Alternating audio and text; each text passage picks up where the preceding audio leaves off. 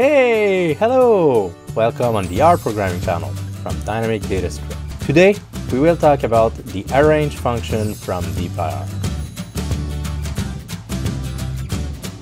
You can use the arrange function to reorder your rows in your data frame. We have to load the iris dataset into the df variable and to load the package dplyr with the function library. Just like the other dplyr function, we have to give it a data frame first. As you can see, the column sepal length in our data frame are not ordered. So you can see the first row has 5.1, 4.9, 4.7, and etc. And so we'll use the arrange function to reorder that.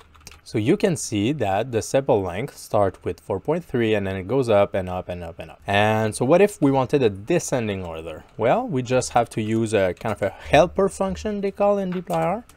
And we surround our column by the helper function. And right away, it went from the highest to the lowest. You can give several columns to the arrange function.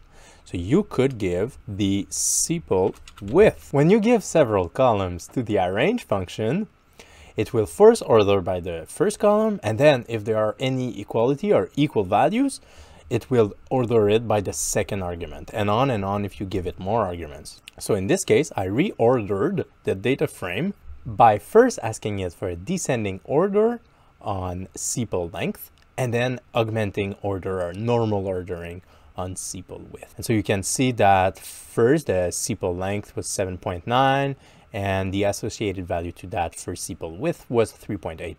But then there are several 7.7 in sepal length, and so we can see here that the sepal width is going up.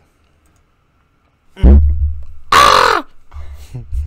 if we don't have fun, we don't have fun, you know?